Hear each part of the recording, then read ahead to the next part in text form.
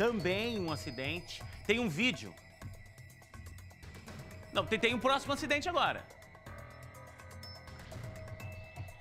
Araguaia Coiapoque. Vamos botar essa próxima história no ar? Mais um acidente na região central, deixa eu ver. A câmera de segurança da loja da esquina flagrou o acidente. A motorista do Corsa para na Araguaia para tentar cruzar e subir a rua Oiapoque. O trânsito é intenso e ela demora a conseguir uma brecha para atravessar. O motorista do Corolla Prata, que vai pelo sentido contrário, decide parar para que o veículo faça a travessia. Mas o motociclista que vai logo atrás pela direita segue e acaba sendo atingido. Esta outra câmera flagrou a batida mais de perto.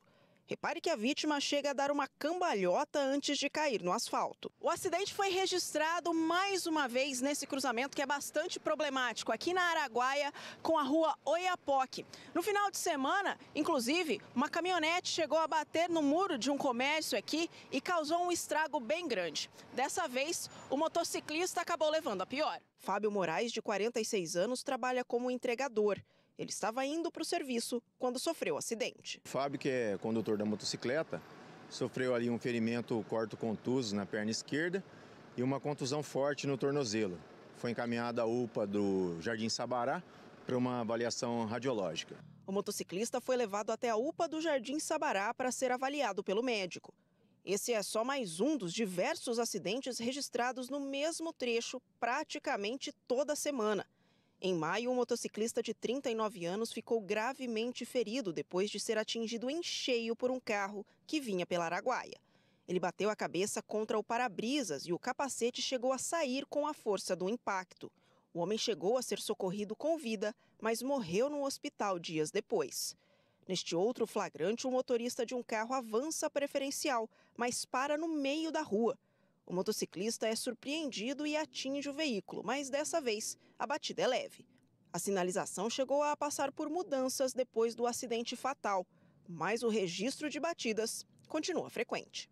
Na realidade, a Araguaia ela se tornou uma via de acesso ali por causa da, das construções ali da leste-oeste. Então, a maioria dos cruzamentos são sinalizados, porém, é, os condutores que têm que redobrar ali a sua atenção. Nesse ponto aí da Araguaia com Iapoque, a gente já mostrou um montão de acidentes. Você viu aí algumas câmeras de segurança. Eles mexeram ali na sinalização em alguns pontos, chegaram a instalar semáforos, mas parece que não resolveu. Só que o maior problema é o seguinte, ó. Veja essa imagem. Tem ali a faixa de pare, tem placa, tem tudo. Só que o motorista entrou na preferencial. De novo, ó, no mesmo cruzamento. Aquele primeiro foi um acidente com uma moto, agora com essa van, ó. Quase. O motorista entra. Meu Deus do céu, gente. Então, enquanto não tiver o respeito à sinalização por parte dos motoristas, esse tipo de situação vai continuar acontecendo. E ali o que não faltam são flagrantes de acidentes, tá? É um atrás do outro. Só que aí, ó, tanto motociclistas quanto motoristas vão pro meio da pista aqui. Fecha aqui, que quer?